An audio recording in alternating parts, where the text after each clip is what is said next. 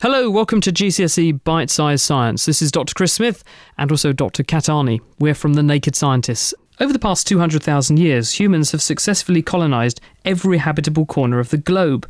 But our presence on Earth has had a big impact on the environment. So, Kat, tell us a bit more about the scale of the problem all living things have evolved to exploit their surroundings, and us humans are certainly really good at it.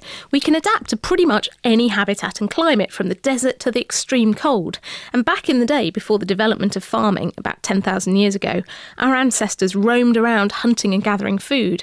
And because this life was tough, the population stayed small, but when we learned to farm, the population really started to grow. So, where are we now? Over the past 500 years, there's been a population explosion going from about a billion people on Earth to more than 6.5 billion, and that's now rising at a rate of more than 200,000 people every day. In developed countries like here in the UK, we have quite a good standard of living lots of food, we have clean water, cars, and safe houses. Now, in the developing world, such as some countries in Africa, this is less common, but many countries are catching up fast. So, what kind of impact is this population growth at this rate having on the planet? Well, this huge growth is causing a significant strain on the environment in several ways. For a start, we're using up the non renewable energy supplies such as coal, gas, and oil. When they run out, they're gone forever. We also are quickly using up raw materials and producing a lot of waste, and in the process, we're creating lots of pollution, and all this isn't very good for the planet. Okay, so first of all, let's look at some of these issues in a bit more depth. What's the issue with pollution? We can define pollution basically as the addition of substances to the environment that are harmful to living organisms. And this can be caused, for example, by human populations not handling their waste properly. So, what sorts of things would count as pollution? An obvious example is something as simple as litter, but we can also cause pollution of the air and the water, as well as the land. Okay, well, explain how that's caused then.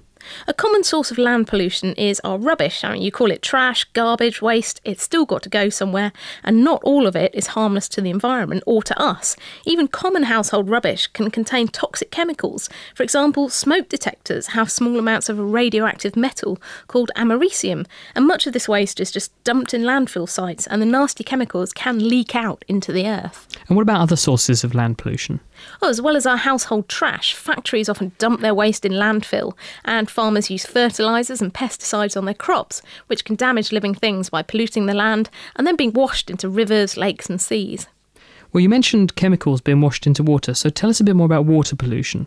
Well, toxic chemicals in waterways and the sea cause pollution, and these can include fertilisers from farming, which can damage the animals and plants that live in the water. Sewage, other toxic chemicals such as pesticides, these can also kill water plants and creatures, as well as potentially harming our health. And how can you tell if water is, is, polluted in this way? A good way is to look at the number of tiny insects that live in the water because most can't survive in polluted water. And another example is pollution by certain chemicals such as fertilisers can cause massive carpets of algae in lakes known as algal blooms and these kill the fish and other animals and plants that are living there. Sounds nasty. What about air pollution though? Uh, most air pollution is down to burning fossil fuels, so that's things like petrol, diesel, gas, oil, and coal. And we burn these in cars and in power stations, and these release chemicals into the air. What sorts of chemicals do they include? For a start, there's smoke, and that's mostly carbon based chemicals, and this leaves that nasty black soot on trees and buildings. It can also hang in the air, making it difficult to breathe. So, smoke in the air can cause smog that's the thick, choking air pollution that you get in some cities. Burning fossil fuels can also create the poisonous gas carbon monoxide, as well as carbon dioxide, and that's a so called greenhouse gas that adds to global warming. And finally, there's sulfur dioxide, which is a pretty nasty chemical that can make acid rain. So, is there an easy way I can tell if the air around us is polluted? Well, if you want to, you can go and look at some lichens, and these are little plant like organisms that grow on trees and rocks.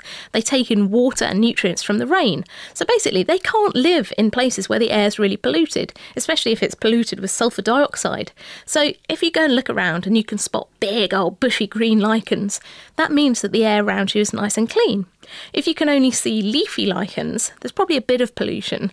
And if you only see crusty lichens, these can grow in places where there's quite a lot of pollution. And if you can't see any lichens at all, you're probably in a really polluted area. Well, that doesn't sound too good. And in part two, we'll look at some of the other impacts that humans are having on the planet.